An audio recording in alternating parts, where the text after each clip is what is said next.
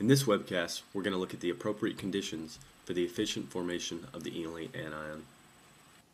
Formation of enolate anions requires an appropriate base.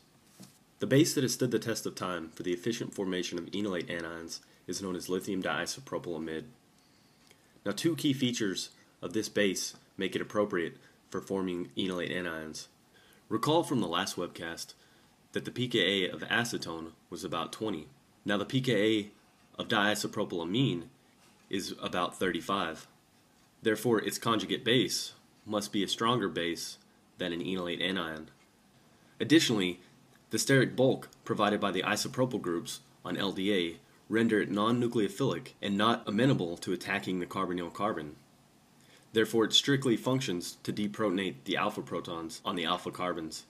We've seen this feature built into bases before in our use of potassium tert butoxide in our studies of the E2 mechanism. By now you should have a good understanding of pKa and the ability to predict which side equilibrium favors.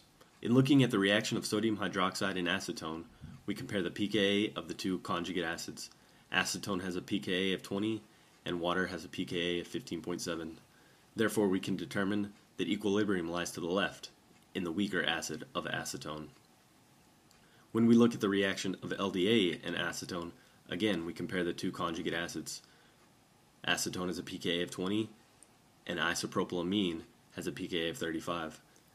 Therefore, equilibrium lies to the right in the formation of isopropylamine and the enolate anion. Now let's take a look at the concept of thermodynamic versus kinetic control of enolate formation. With a slight variation in reaction conditions, we can drastically alter which enolate is formed. By comparing the two enolates that are formed, A and B, we know that B is the most stable because it contains the most substituted double bond. However, we can see that enolate A is formed fastest because there are two protons twice the chance of LDA deprotonating on the left side and a methyl group which provides slight steric hindrance to the deprotonation of the proton shown in red. However, when we switch the reaction conditions and provide a slight excess of 2-methylcyclohexanone, primarily enolate B is formed. We know from the first experiment that enolate A is formed fastest. Therefore, enolate A will still be formed fastest in the second reaction.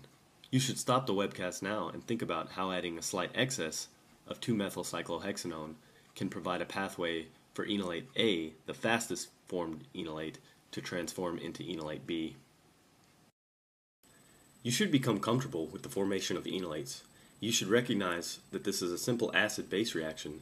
Therefore, by comparing the pKa's of the conjugate acids in the reaction, you can determine if it's a reversible or irreversible process.